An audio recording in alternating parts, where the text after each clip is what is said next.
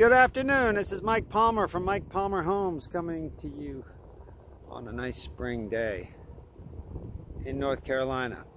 I'm looking at a house we just finished here, so I'm going to do a walkthrough of it and describe what we what we attempted to do here. Anyway, but while I'm in this neighborhood, this is the last lot we had in this neighborhood, but I don't know if that house looks familiar. We built that one, we built that one up there, we built that one up there. We built this one here, the Quinn model. There's another version of the Quinn we built here. I think we did 13 houses in this development, so it's kind of fun to be back here. Kind of sad that I won't be here anymore. But this house called the Jordan 2, we just just putting the finishing touches on, doing some final touch up for this fine young man that we built for. Um, see, the job is the job is just landscaped.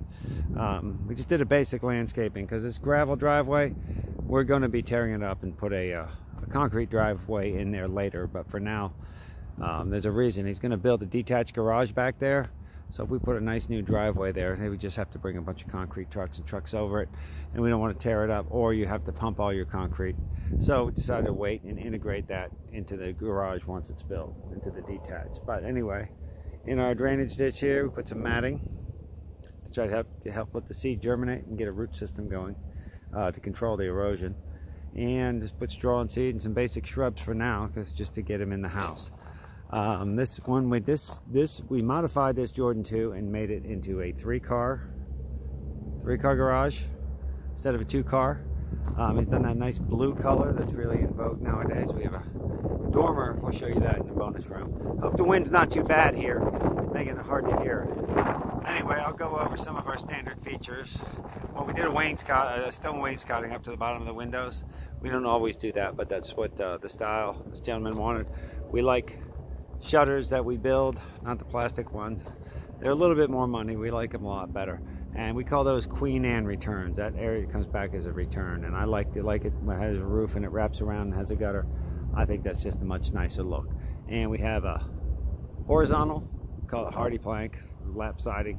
But that's a, the mold, that's a concrete fiberboard siding and the mold is used to, to recreate a cedar board. And then we've got shake up top to um, made to look like cedar shake, but the nice thing about that product, is it will never rot or chip or peel on you. It's pretty much a forever product. You do have to paint it, but it holds paint a lot better. A lot better than wood. If you don't keep up on your paint, it may not look as fresh as brand new paint, but it won't rot and fall off you. It has like wood does. And we also put a, that product called MiraTEC around the sides of the windows. We do that, with a MiraTECs around when we use this product. And you see there's nice metal flashing up there and we're really pleased with the work that our siding crew's done. We've really been been fortunate to have them for so many years. Um, steps, we put a random flagstone pattern, stone steps with a that's a real stone. This this stone veneer is a manufactured stone put up by Dutch Quality, but it's a real nice product. And I like putting this drip edge up here and a metal flash, so water comes in, comes down, and that way it drips over, and you know less chance of it getting behind your stone. This is a uh, fiberglass front door with side lights and a uh, transom overhead. I like the fiberglass because it's got a wood grain, looks nice, but there's very little maintenance on it. And of course we have our uh, stained knotty pine ceiling. You see, you still need to finish up the paint here. Got the painters coming in a couple of days. And we have two MiraTEC columns here on top of a stone stone pedestal for the column. Uh, these railings, they're powder coated aluminum. I just like, they're kind of pricey, but I like them better than a wood rail because you're not, you know, there's no maintenance. Set it and forget it. Anyway, oh, and went on the sidewalk. Our good friends over at uh, Lake Norman Concrete Finishing did a great job for us. But we just did this walk, so you're not walking through the mud to get into the house. And we're going to tie it into the garage. After we build the garage, we're going to tie it into the driveway there. We did that so we get some basic landscaping and flower beds in here and make it get it get it so uh, our client can move in. Anyway, let's go inside and take a look. And when you come into the foyer here on this house plan, now you kind of get that raised ceiling, that 10 foot ceiling in the foyer, and we like to put a nice crown mold. This goes into your great room. When you come in, you've got this room over here. And We put the double glass doors. That's, we call it the flex room. It can be an office A lot of people use this as a home office. Not as many people are using the formal dining room anymore. But you can open these doors and you can easily make it a formal dining room. And we did put the wainscoting around it, which is a trim on the lower part of the wall. This is a little different than the Craftsman one because it's got a bull nose. And we put some of the, it's called base cap, that molding around there. But we like to go with a seven and a quarter inch baseboard pretty much as our standard. And with that nice trim, we put the receptacles down in the baseboard. And we have a six over one window grid pattern. And I'm gonna get some uh, blinds and shades on there. Anyway, and this one also, it's got a raised ceiling and we put a crown mold up there. Sometimes we do a tray up there. Um, anyway, that nice airplane prop fan. Anyway, and uh, it's a vinyl plank flooring, a luxury vinyl plank, which is real popular. And this particular gentleman did what a lot of people are doing nowadays, and they chose to not put any carpet in the house. They're just like, forget it. I don't want carpet. I don't want to clean it. I don't want the hassle. So in this bedroom in this bedroom, it's the same thing. Now we went with a tile floor. This is the bathroom. This is the hall bath servicing the two bathrooms. It's got a tub shower. That's about my favorite fixture right there because you've got a standard shower if you want to take the wand down and it's just not real complicated with diverter valves and a bunch of different things.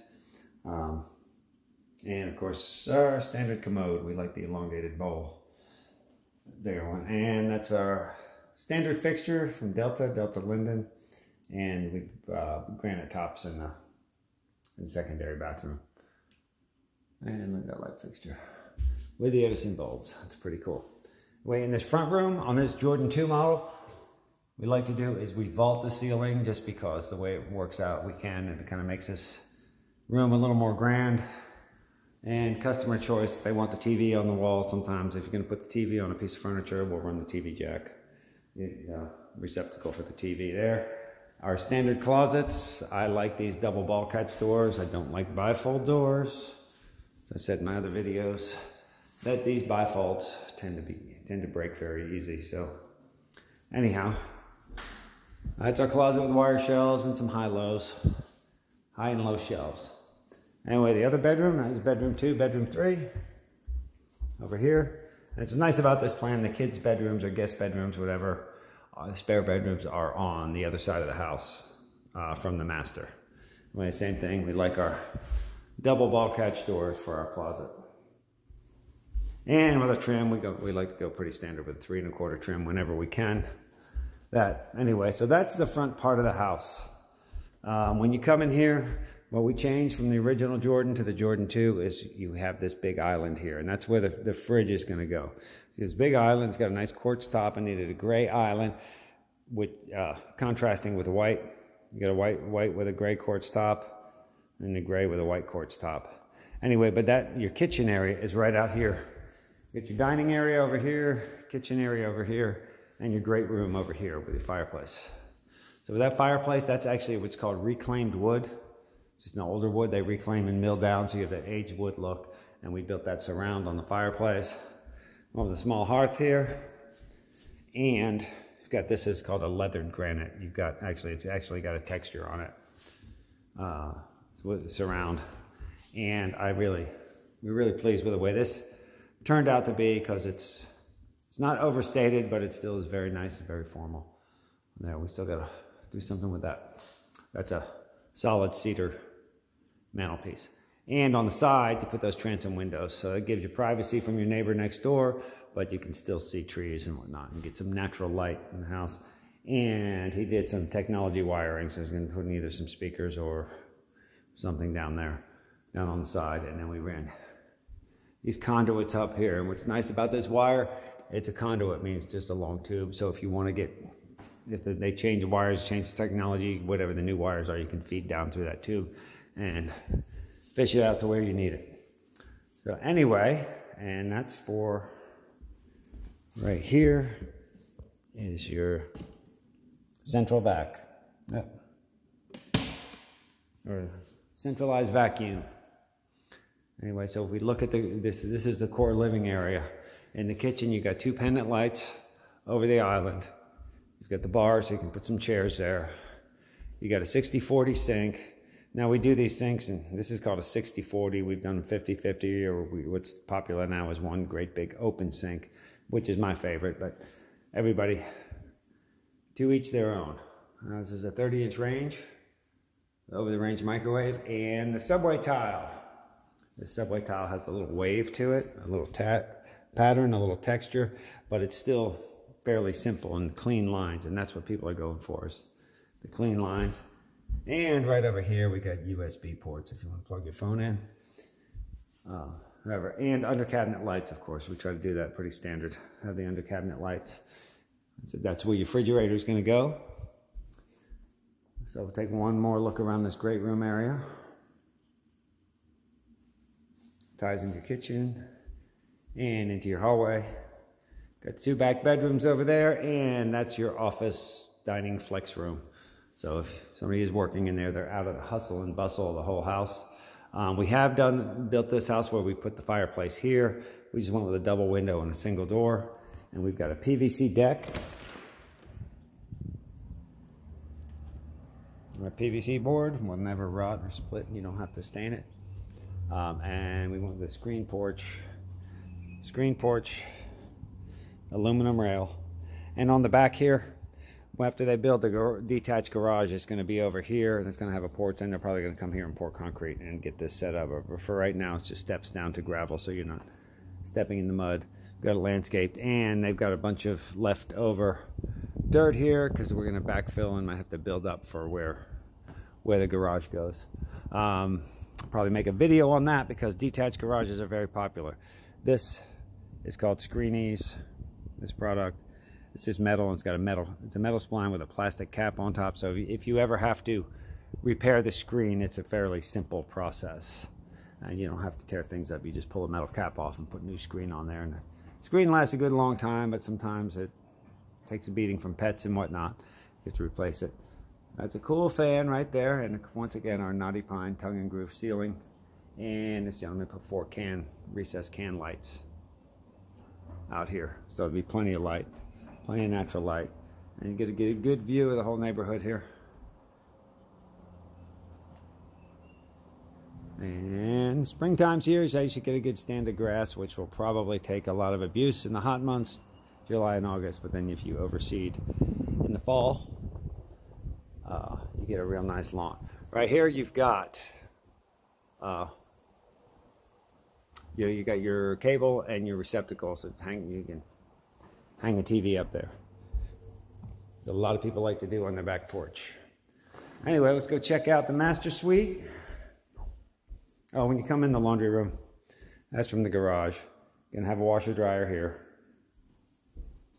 And we call this a drop zone where you drop your coats. So you got cubbies for your shoes, put some hooks up here for your coats, and another cubby up top. Um, this is more of a craftsman style, so we didn't put a crown mold on it. Um, this is just a spare closet, could be coat closet, whatever, vacuum cleaner closet. And here's the master suite. And there's the Mike Palmer Homes window seat. He went with a dark blue, dark blue cushion, which I think goes real well with this. Uh, master bed is gonna go right here. You got windows on either side for natural light, and also you got USB ports there for phone and iPad charging.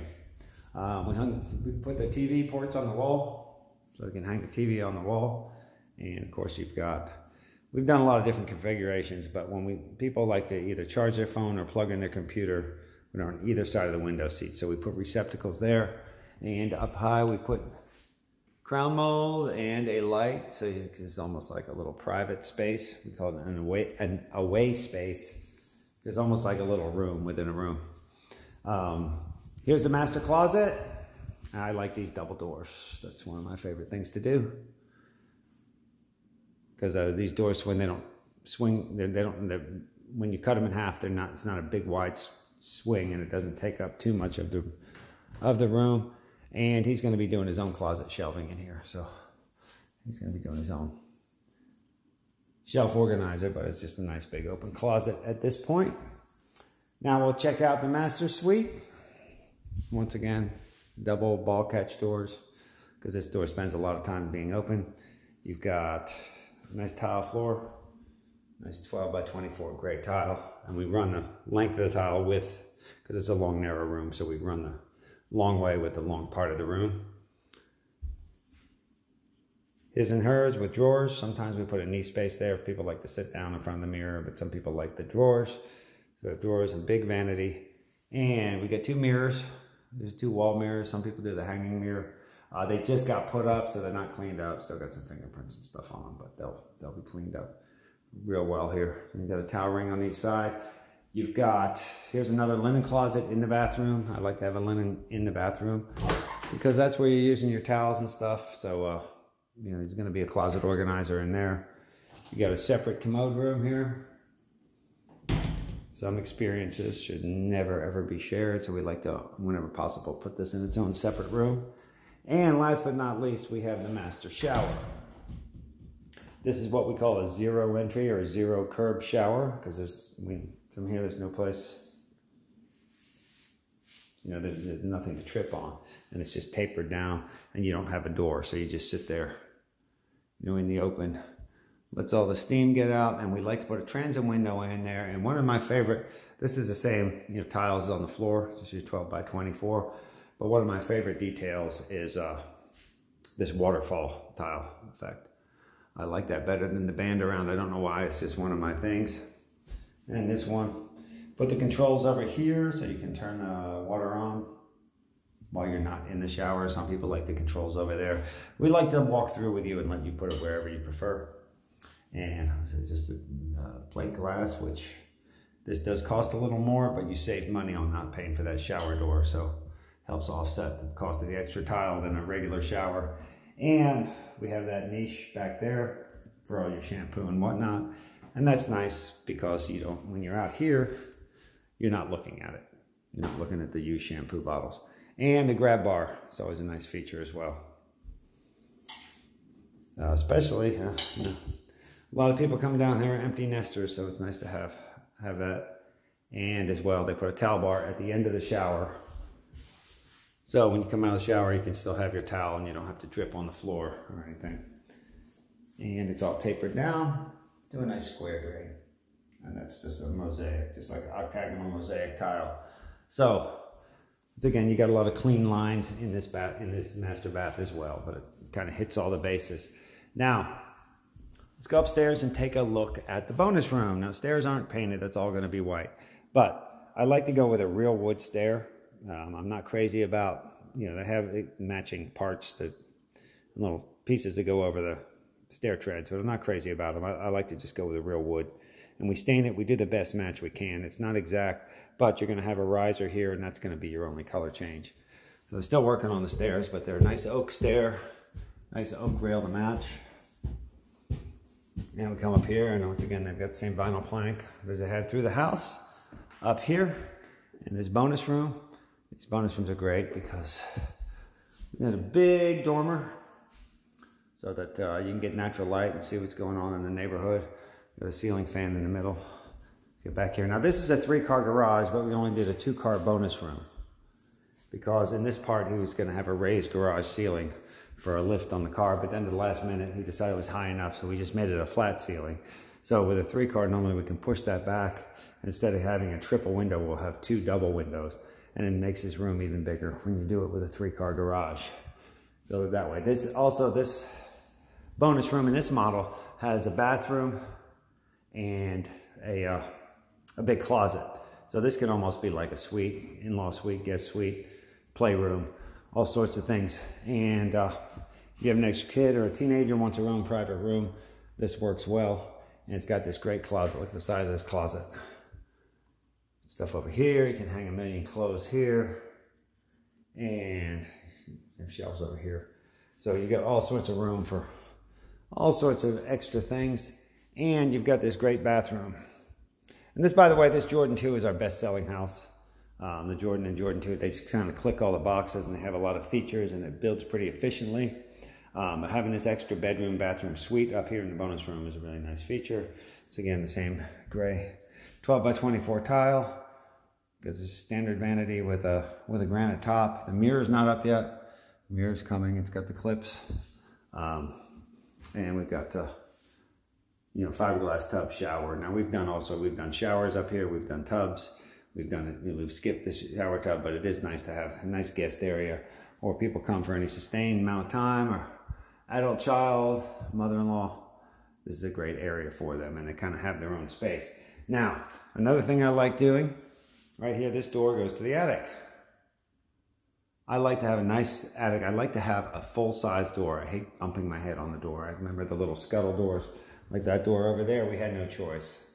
But, you know, if you want to take anything big into the attic and put a nice, you know, put a nice, we, we, this is where we put a lot of spare parts and stuff, but um, put a nice plywood floor down so they can stack up Christmas decorations or all sorts, sorts of things up in this attic. So that's pretty much the whole inside living area. Now let me show you down in the garage. This has got one of the crown jewels of this place is a garage and he's going to probably be building a detached one. So there'll be even more space. But you come through the laundry room with your drop zone. So when you come in from the garage, right, there's your stairs in your garage, and we try to have only two steps so it doesn't stick down too far. You got a nice, they call it a utility sink. Some people call it a slop sink, but if you have a mop or stepping something nasty or washing your hands or doing mechanic work, it's nice to have the sink out in the garage. Or if you got to wash something, you don't have to bring it into the house or go out and unwind the hose.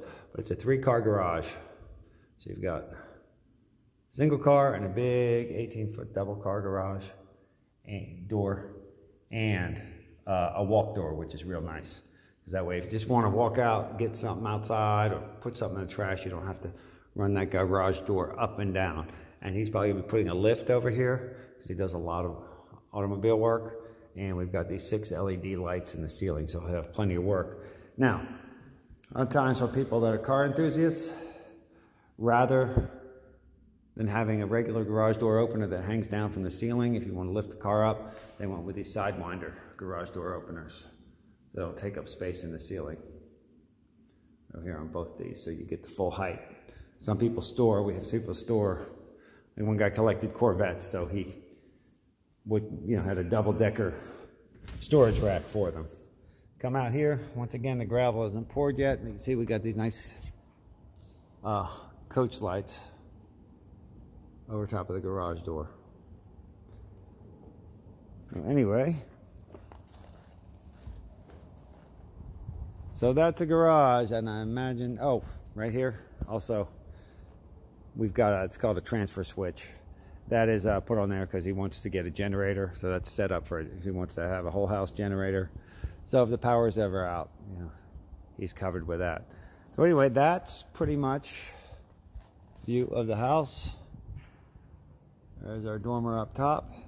But this house has is pretty complete. You've got a bonus room with a full bath. You've got dining room slash home office. You've got, this one's got a three-car garage. I've done it with a two-car and a three-car garage. You got utility sink, you got a master suite, you got a split floor plan, big island, drop zone, and uh, for all the, the features that, and screened-in porch, um, customers are wanting. This, this kind of checks all the boxes. So anyway, if you found this useful, uh, I have to ask the obligatory, please hit the like or subscribe button. And uh, um, we appreciate you visiting our site. If you have any questions, uh, you can feel free to contact us. Thanks again.